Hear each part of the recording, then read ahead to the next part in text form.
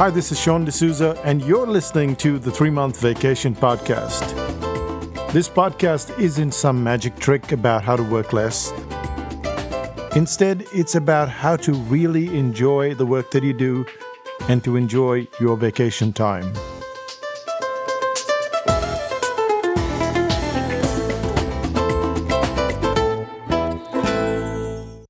Hi, it's Sean, and you're listening to The Three Month Vacation.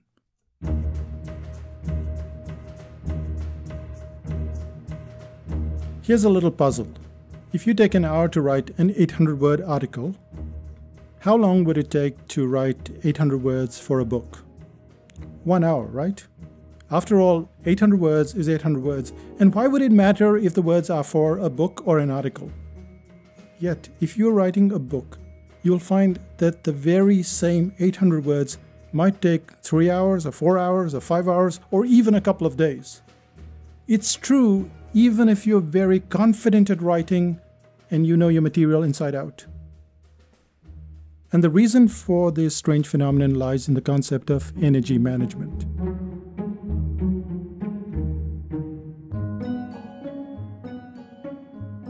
When you sit down and you're writing 800 words for a book, your brain is going back and forth. It's going back and forth about how the whole piece sits in the document. The words are not this standalone unit. They have to fit in with the information that came before, it has to fit in with what is to follow. And therefore, the simple act of changing the medium makes a massive difference to your speed and to your efficiency. And of course, to your energy.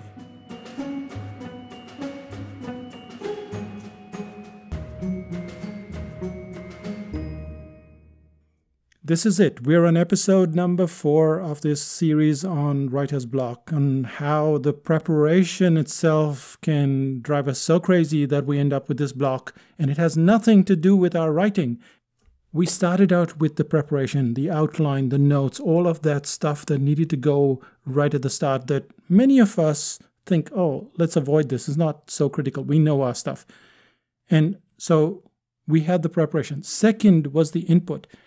And in input, we looked at our own subject matter, which is our own industry. We looked at cross industries. We looked at different media. We looked also at styles, different styles. And finally, in input, we had discussion and feedback, without which we were just being secretive for something that was going to be public anyway. This takes us to energy.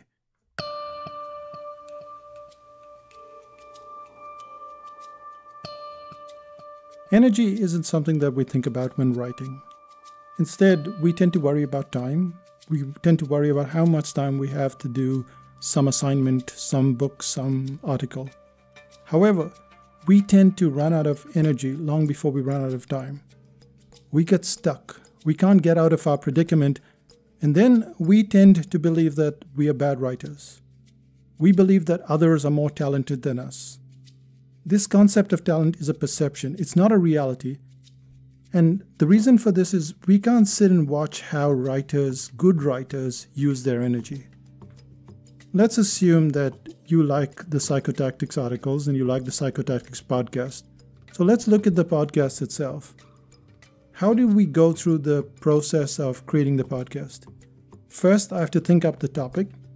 Then I have to outline the article, I have to write it, I have to edit it, send it to Grammarly, have their grammar check, post it for feedback, discuss it with Renuka or in 5000 BC, record it, edit it, add music. Well, Joe adds the music, Joe uploads it, and finally, Joe cues it as well. But I used to do all of that before. If I miss or slow down on one stage, it's enough to send the whole sequence in disarray.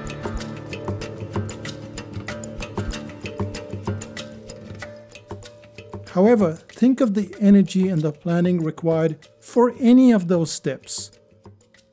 There will be times when I think up the topic, I outline the article, I write it, I edit it, I grammar check, and then nothing happens.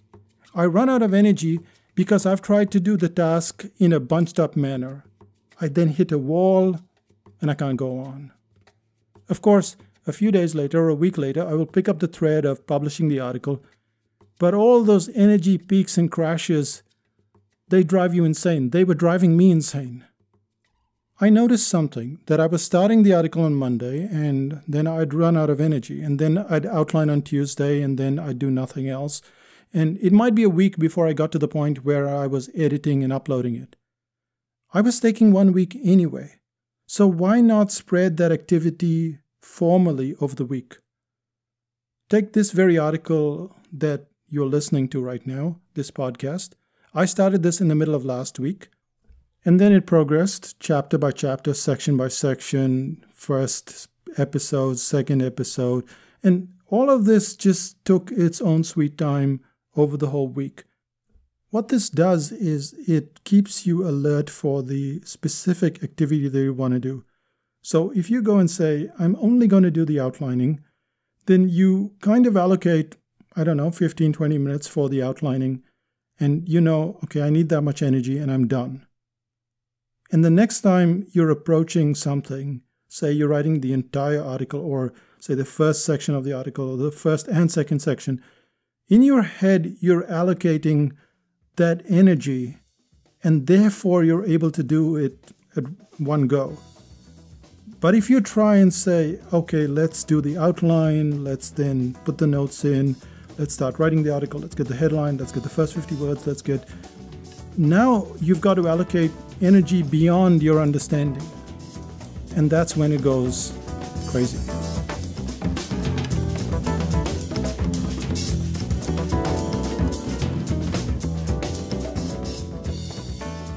Breaking up every article into several different steps is extremely crucial. You always approach that step completely fresh, completely ready to take on that specific step and nothing else. You don't have to do anything else. The second thing that's very critical if you write a lot is to get help. Energy is not about playing superhero. Despite some very robust planning and confidence in writing, you can still run out of energy on a constant basis. This phenomenon plays out because we tend to take on more than we can handle. We take on these challenges all the time. When I started out with my articles, I'd write 500 word or maybe 800 word articles. They were a massive challenge. I barely exceeded the 800 word limit for close to 14 years. Then in 2014, I decided to restart the podcast. Now, a podcast is about 20 minutes to 30 minutes. A person tends to speak at about three words a second, which means that a podcast of 30 minutes has to have about four and a half thousand, no, wait, 5,400 words five and a half thousand words approximately. It could be 4,000, could be 3,000, still a lot of words. And this exercise drove me crazy. It burned me up for months, even several years.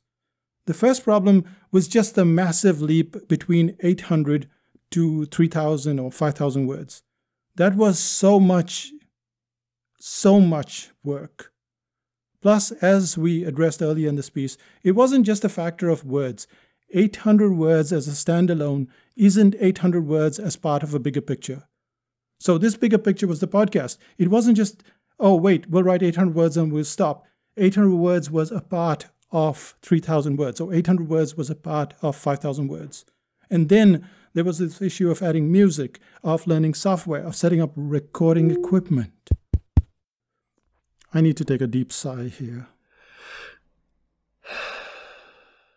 I needed help on almost every front, but I also realized that I couldn't do it all. I had to give up one of the most coveted pieces of my podcast production. If there was one thing that I loved most of all, it was putting the music on the podcast, but I needed this energy to conceptualize, to write, to edit, to record, which is where Joe Norton came in. And now he creates all of the magical music on this podcast. He puts in all those sound effects all that stuff that makes you think, wow, this podcast is different. Well, that's what Joe does. He also uploads everything and then he cues it. And all of this is a massive relief to me. At this point in the article, you're probably wondering, why am I telling you the story of this podcast? And the reason is whether you write an article for a podcast or whether it's part of a course or the book, the concept is quite similar. At first, it's pure madness because you're juggling so many things all at once. You're writing, you're researching, you're editing, you're style formatting, uploading, you're finding a graphic, you're queuing your article. That's all part of every single article that you're going to write. If you put it on your website, then your newsletter, well, there's more work to be done. All of this energy that you're putting into the article is energy that you're burning up, energy that you've put in all of these steps. So when you say, I have writer's block, well, could it be that you have so many steps to do, but by the end of it, you're just burnt out? And then you have to start the process all over again.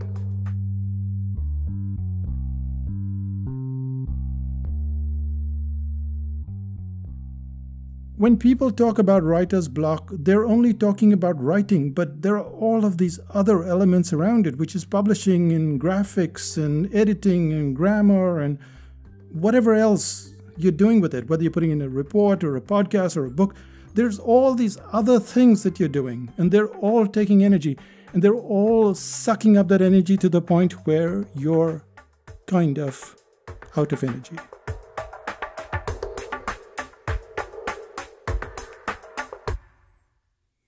And this is where it gets very insidious because now you're so exhausted that you don't have time to read.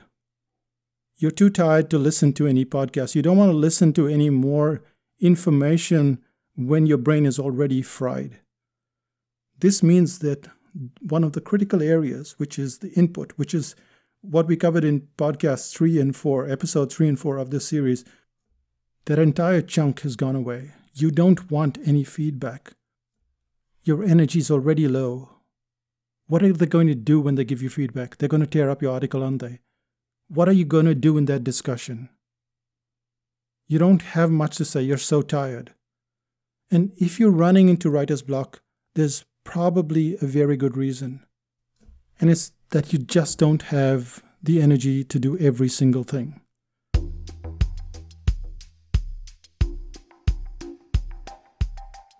The various steps involved in getting a single article can drain you completely. It's not all about skill or preparation, it's also about managing your energy, and this is why you might want to get some help. Now, maybe you can't pay for this help, you know, get a professional, but you might have a student body that might have students who will pitch in. A client may want to help. We have clients who have pitched in to help us to publish articles on the blog, to put it on Aweber, to do all that stuff. Clients have pitched in. Kids pitch in. You might have kids in the neighborhood who are more than capable of doing some of the tasks instead of you doing everything back to back. Most of us don't realize how energy intensive this entire process is. We only look at the writing, and writing is just one part of the whole thing. It might seem like writing 800 words is just writing 800 words. Logically, your planning should take no more than 30 minutes. The article should take no more than 90 minutes from start to finish. But that's not how it works in real life. You stagger, you fall, you get stuck. A big chunk of that blame lies with the way that we manage our energy and how we try to do every single step of the activity. Doing it that way is unsustainable. So here's what you need to do instead Plan your topics in advance. Get your outlines done on another day. Make sure that your research has been stored away ready to use. And then you start to write the article. Edit it later, like on another day, two days from now. If you can, give the rest of the work to a friend, to a client, or someone else. You know, the other bits and pieces that involve uploading, putting graphics, formatting the text, things that you can then just give somebody else to do if possible. Outsourcing isn't just about fobbing away the parts that are uninteresting. To me, the music was the most exciting of all. It was more exciting than the narration. However, Joe does a far superior job than I ever did, and he keeps getting better all the time. And as a result, my writing has got better. This is the reason why I'm saying, okay, we're here in October and I'm planning and have a lot of the stuff ready to the end of March. I didn't have that energy. I couldn't have that energy if I tried to do it all myself. And this is the whole point. The point is that you cannot do it all by yourself. There is no such thing as a solo venture. You have to somehow find a way to give some of the work away, even if you love it most of all. And this brings us to the end of this episode and to the end of this series. Let's summarize what we've covered in this series.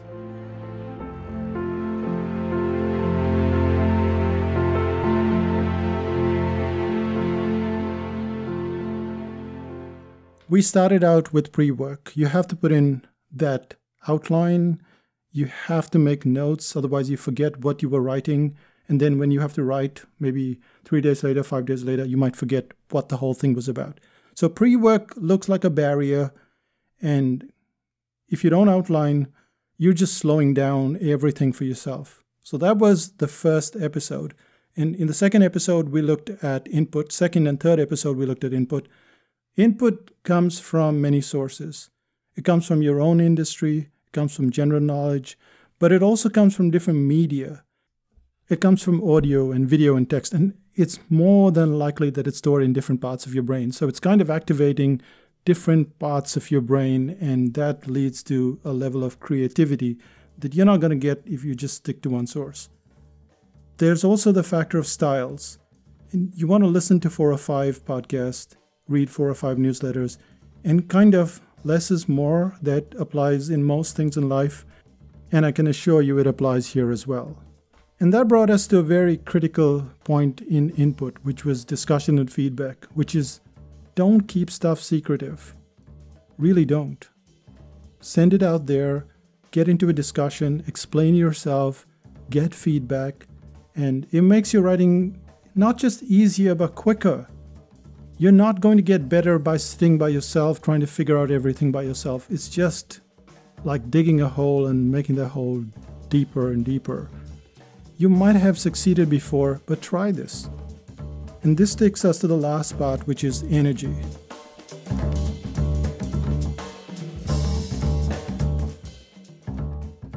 Understanding that writing 800 words for an article is not the same thing as writing 800 words for a book. The more steps that are required in the whole process, the more you're going to burn energy. And you're going to have to plan the steps, but also to get help because it's not just about the writing, it's all that stuff around the writing that causes the trouble. And if you're tired, that kills the input as well. And now we have no outlining. it's a complete recipe for disaster. And I know I shouldn't laugh, but I'm not laughing at you. I'm almost thinking of myself and how I got myself into a mess all of these years and didn't realize these things, which is why I wrote this article. But what's the one thing that you can do? I'd say the one thing that you can do is to look at the whole cycle of writing. What are the steps that you're taking? Are you breaking up everything so that you have more energy? And finally, are you getting some help from, I don't know, some neighborhood kids or someone who can help you? Because that is going to free up time and when you have more free time, you're able to put better work out, you're able to read more, learn more, discuss more, and more importantly, have the energy to take feedback. All of this ends up in this big energy hole that we've created. And if we don't manage that hole, then we can never be writers. It's not about writer's block, it's about understanding the process of writing. And that's what we've covered in this episode, in these four episodes and I hope you've enjoyed it. If you have, send me an email. I will read your email and I will respond. I always respond to all the emails. That's me, Sean D'Souza, saying bye for now. But wait, what's happening in Psychotactics land? If you like this episode, then I would encourage you to join 5000 BC. 5000 BC is populated with introverts people who are very thoughtful, who ask really good questions, and who have insecurities like everybody else. And 5000 BC is this very safe space. The motto is be kind, be helpful, or be gone. And the uniqueness of 5000 BC is that something like this could be a question that you came up with, which is why do I run into writer's block so often? And then I can write a whole series on it. So in a way, you're helping me to write stuff that other people get help from, but you also get help from. And it's very personal. It's not written for somebody else, it's written for you. You can come back, you can ask more questions. We write more articles. It's a very collaborative process, and I think you will enjoy it a great deal. So come see us in 5000 BC. Make sure you've read The Brain Audit before that. The Brain Audit's a very easy read. Over the weekend, you'll enjoy it. It's not one of those marketing books that put you to sleep. It's very enjoyable. So read The Brain Audit, get to 5000 BC, and that's me saying bye for now. Bye bye. Oh, and before we go, we're starting a coaching series. The next episode, two, three episodes, just like this. People seem to like series. If you like a series written, email me. I mean, I know you're not a member of 5000 BC, but if you like a series on any topic, email me, and who knows, you might get your wish granted. And we'll see you in 5000 BC anyway at some point in time. Bye bye.